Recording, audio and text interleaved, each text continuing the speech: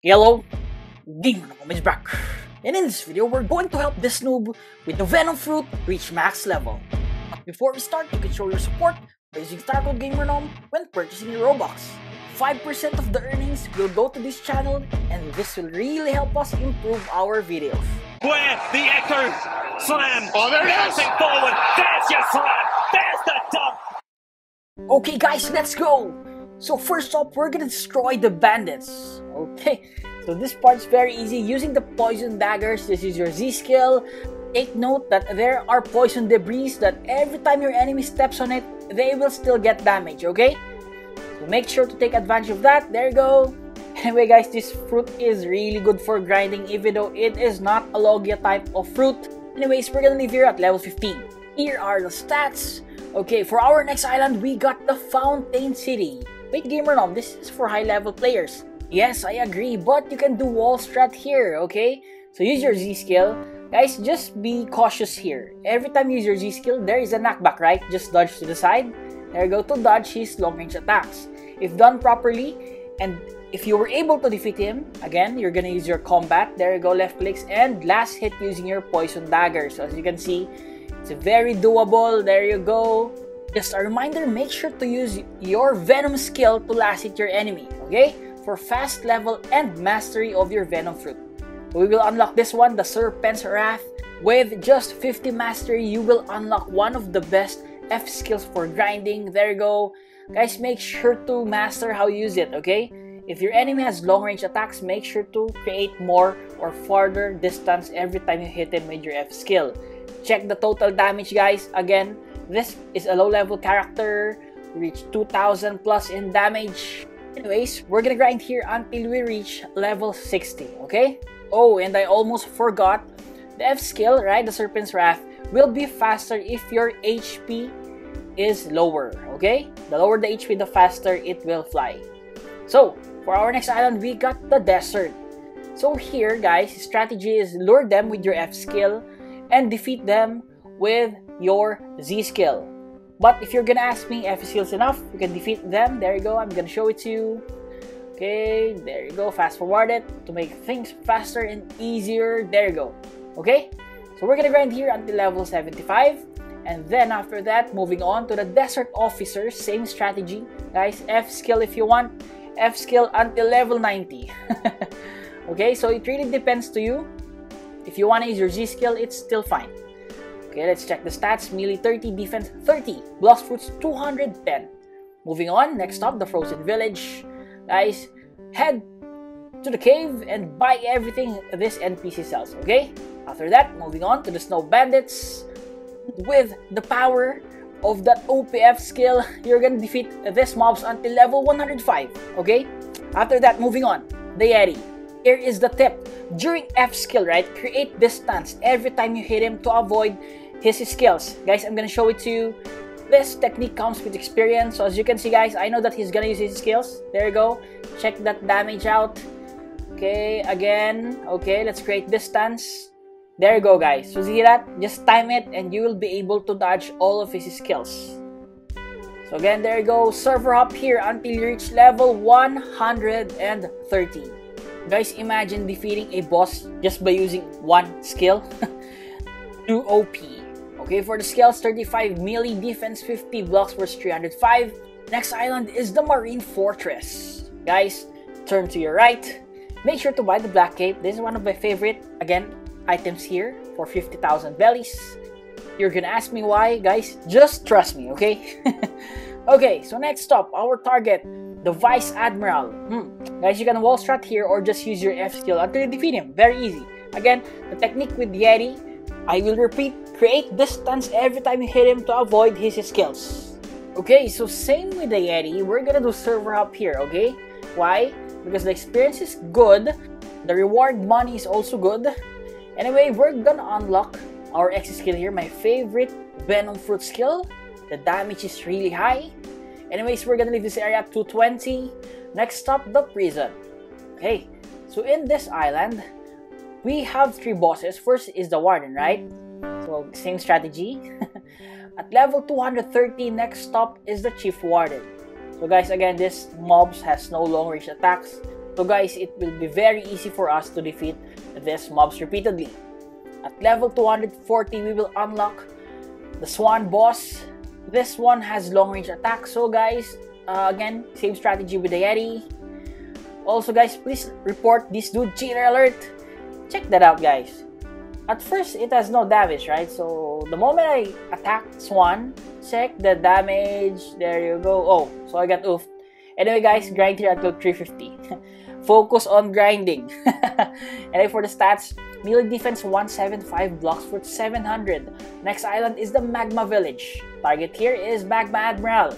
So for the strategy guys, same with the Yeti again. So attack, create distance, there you go. Make sure to dodge, and that's it. Okay, very easy. Again, server hop here until you reach level 425. There's a chance that you might get a gun here. okay, stats, melee defense 225, Blox Fruits 825. Next up is the Whirlpool, and under that is the Underwater City. Target here, the Fishman Lord. And for those who don't know, this boss has two lives. Check it out. There you go. Do you see that? Okay, his hair will change and a new bar of HP, but in the end, he is easy to defeat. At level 500, we will leave this area. There you go. And next up is the Skylands. So here, another boss is our enemy. Yes, Wysper. I'm talking about Wysper only, guys. Wysper only. There you go. So guys, this boss has a strong damage, the bazooka, but you can dodge it. We're already used to it, like defeating Yeti and other bosses, so there is no problem. Guys, I just love to use the F skill, but I'm telling you, maximize the damage of the Noxious Shot and Poison Dagger. Please, okay? Please. there you go. As you can see, very easy. While grinding in this boss, we will also unlock the C skill, the Toxic Fog. So guys, technique here, activate the Toxic Fog first before using your Serpent's Wrath. Okay? This is a good combo. There you go. And that's it. We're gonna grind here until level 625. Almost done with the first sea. Here are the stats 300 mil defense, box words 1275. Guys, make sure to buy the Instinct. This will cost you, I think, 750,000. Yes, there you go. But this will be helpful. Okay, moving on back to the Fountain City with the Galley Pirates. Okay, so I'm gonna show you guys Toxic Fog. Lure them with your F skill. Actually, this is enough as long as you dodge, but their skills kind of hard to dodge because there are four Galley Pirates. So you're gonna use your Z and X skill to finish the job.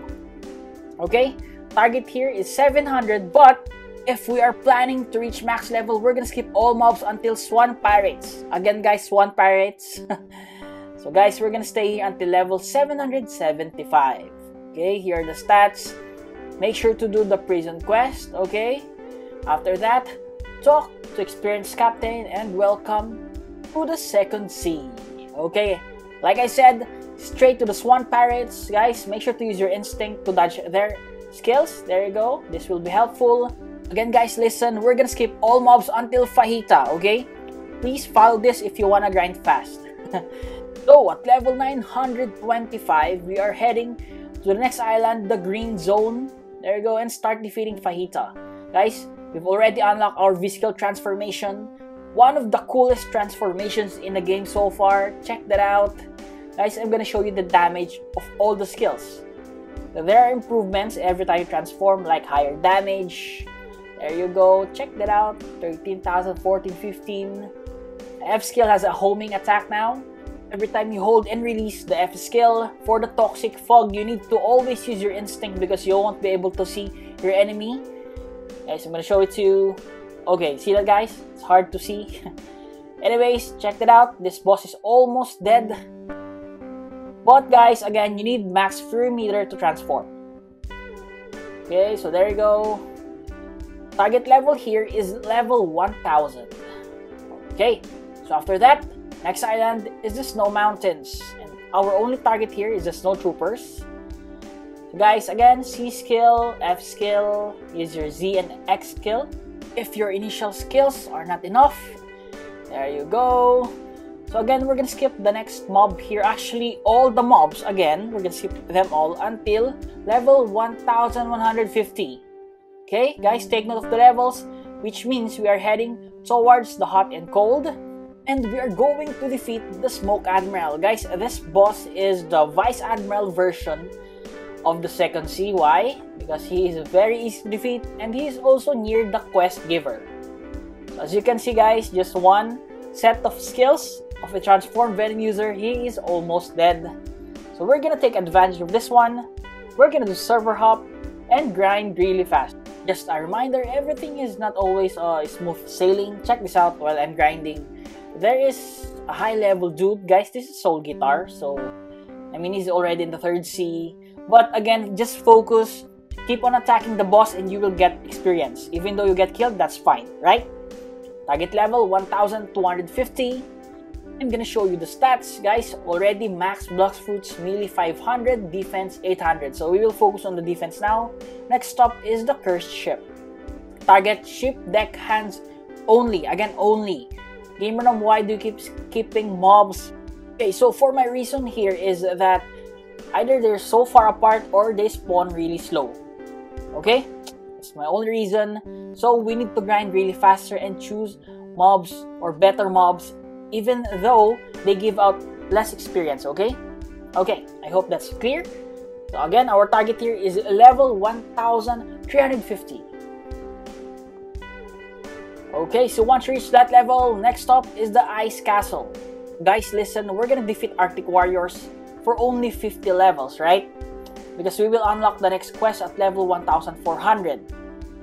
Which means our goal here is level 1400.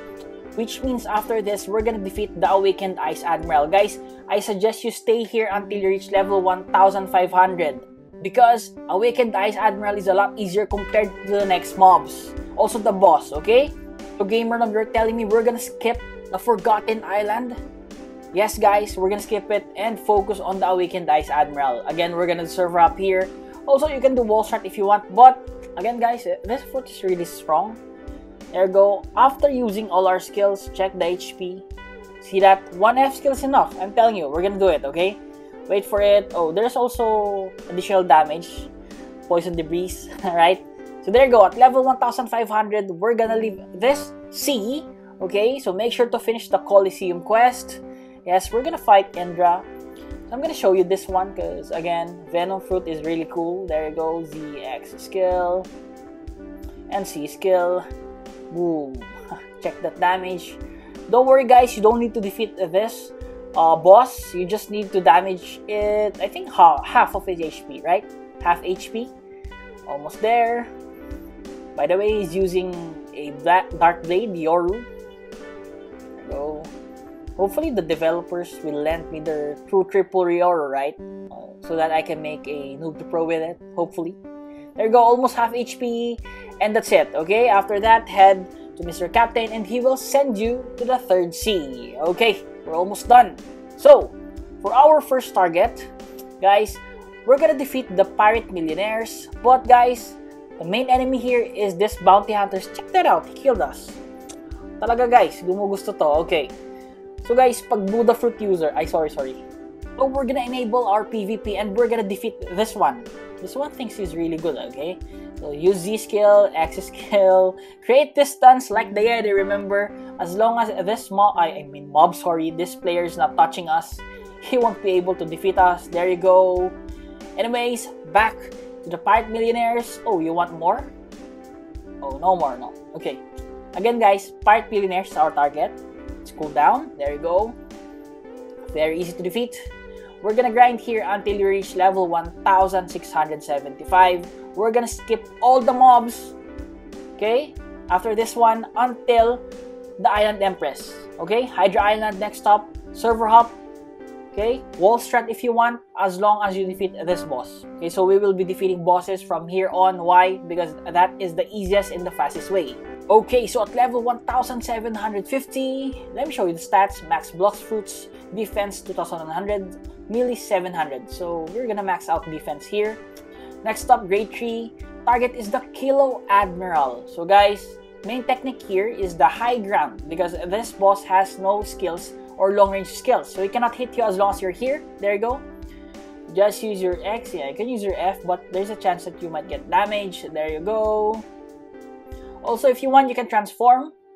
There you go. And defeat this boss. As long as you defeat him, everything's fine. Check that damage out. I think we will reach 90k plus. There you go. Anyways, server hop here until you reach level 1800. After this, next up is the floating turtle. With all the mobs here, we're only going to defeat the fishman captains. Why? Again guys, trust me, this is the easiest and the fastest mob to grind here. Actually, forest pirates will do too, but again, we're gonna leave here at 1975. Next up is the haunted castle. Target here is the reborn skeletons. You can also grind the next mob here. I think that's the living skeletons, but sometimes they're bugged. So stay here until you reach level 2075.